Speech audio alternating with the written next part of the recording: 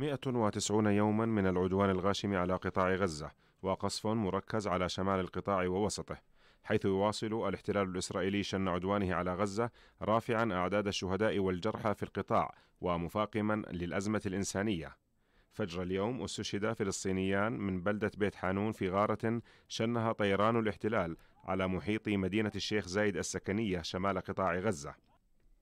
كما شن طيران الاحتلال الإسرائيلي غارات عنيفة على المحافظة الوسطى وعلى حي الزيتون والدرج في مدينة غزة ومنطقة الفخاري جنوب شرق خان يونس جنوبي القطاع.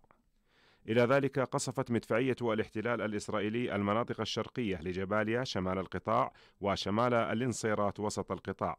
ويأتي هذا القصف بعد بدء القوات الإسرائيلية عملية عسكرية في مناطق وسط القطاع المحاصر بينها محيط مخيم الانصيرات في ظل تكثيف لعمليات القصف الجوي والمدفعي وإطلاق القنابل الدخانية باتجاه منازل المواطنين شمال مخيم الانصيرات والمخيم الجديد.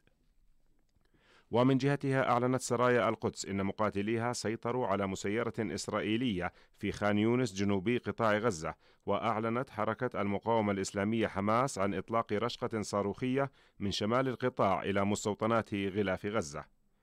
وسياسيا أعلنت حركة المقاومة الإسلامية حماس تمسكها بمطالبها المعلنة لإبرام الاتفاق وفي مقدمتها عودة النازحين إلى ديارهم وانسحاب الجيش الإسرائيلي من كامل قطاع غزة. إنسانيا قال مدير المكتب الإعلامي الحكومي بغزة إن المنظومة الصحية في شمال قطاع غزة ومدينة غزة انهارت تماما وإن هناك كارثة إنسانية حقيقية في شمال قطاع غزة مع توقف محطات توليد الأكسجين وتعطيل جيش الاحتلال الإسرائيلي 32 مستشفى في غزة من أصل 35